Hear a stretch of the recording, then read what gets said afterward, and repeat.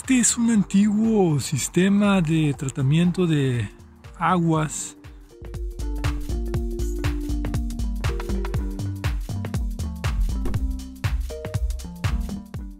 Podemos ver que el sistema está protegido con una cerca y la vegetación que está en dentro de esta